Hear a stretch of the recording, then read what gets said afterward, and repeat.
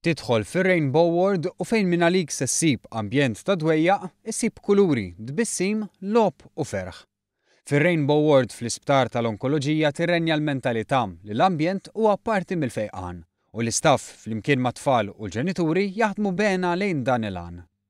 Ftit inqas minn sentejn ilu r-Rainbow Ward iċċaqalqet minn Mater Dei proprju għall-Isptar tal-Onkoloġija u minnufih beda x-xogħol minn Puttinu Cares biex din is-sala tkun iktar attrezzata u akkoljenti, kif spjegatilna Anġel Cuschieri, Viċi President ta' Puttinu Cares u Nursing Officer f'din is-sala. Bdejna billi nagħmluh iktar ikkulurit u diġà bdejna billi għamilna l-play area u l-kuruturi. Issa nixtiequ, da perrezz kollu tal-isponsors, li nagħmlu l-kmamar, għandna l-kamra tal-adoloxxenti u għandna l-kċina wkoll. Għax filwaqt li permezz ta' sponsors il-kuruturi u ż-żoni tal-logħob huma attrezzati u ddekorati, żoni oħra għad fadlilhom ix-xogħol biex jilqgħu aħjar lil dawn il-pazjenti li l-eta' tagħhom tvarja minn trabi sa żgħażagħ ta' dsatax-il sena.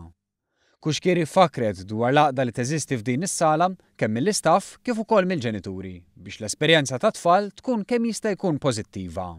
Sforz li kemm-il darba jħalli bosta sodisfazzjonijiet.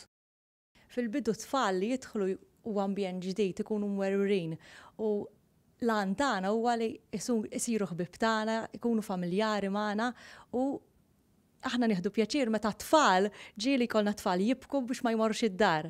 U dak huwa s-sodisfazzjon tagħna għaliex fl-aħħar mill-aħħar it-trattament sfortunatament ikun daqsxejn iebes xi kultant. U bl-għajnuna ta' dan l-ambjent sabiħ li nagħmlulhom u bl-għajnuna tal-istaff li jkun hawn, aħna nagħmlulhom dal-ambjent sabiħ. Għaldaqstant tenniet l-appell għall-għajnuna minn sponsors biex iktar kmamar jingħataw il-kulur u jkunu mgħammra bl-aqwa mod. sabiex flimkien mal-għajnuna tal-professjonisti, it-tfal li jingħataw il-kura u l-familji tagħhom isibu dejjem ambjent aħjar li jilqagħhom tul din il-mixja lejn il-fejqan.